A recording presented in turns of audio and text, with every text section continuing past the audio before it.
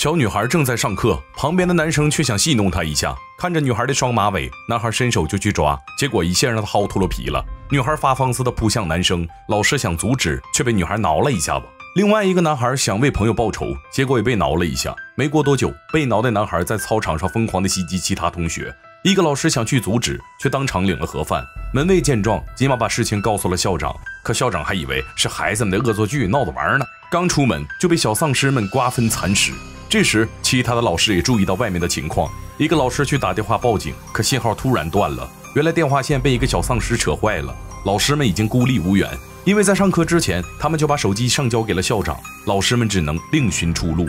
其中一个人想直接冲出去，结果当场嗝屁。其他的老师吓得赶紧躲进一间教室。就在他们商量对策的时候，体育老师突然发现阿伟被感染了，于是他把阿伟隔离到另一间教室。这时，生物老师站了出来。经过他对小丧尸大脑的研究，发现里面除了酱胡子啥也没有，大人更不会对这种病毒感染。众人看向了阿伟，发现他确实没有被感染。一块被感染的鸡肉，经过几道工序加工成鸡排，最终送到了小女孩的嘴里。这也直接导致学校里的学生都变成了丧尸。幸存的老师逃到了外面，他们对着来接学生的家长大声呼救，可家长正在打电话，根本没人听到他们的呼喊。就在这时，一个丧尸跑上了车辆，女人也命丧于此。其他的老师急忙躲进会议室。这时，一个女孩说自己也被感染了。女老师连忙安慰她说：“没事儿，没事儿，问题不大，没事儿啊。”然后把女孩关进了厕所。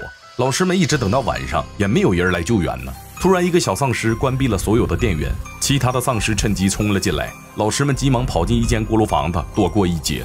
在这里，他们找到一台收音机，报道整个城市都已经沦陷了。看来他们已经彻底是孤立无援了。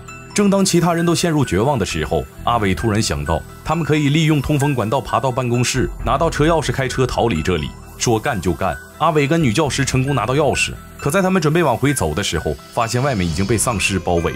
机智的女老师扔出一把安眠药，没过多久，丧尸们都睡着了。阿伟顺利和其他人会合，他们决定杀出重围。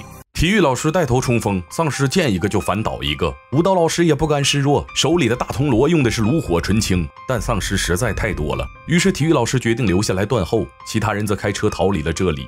他们行驶到一处小镇时，车没油了。此时，旁边的电视正在播报灾情，全国各地都爆发了丧尸病毒。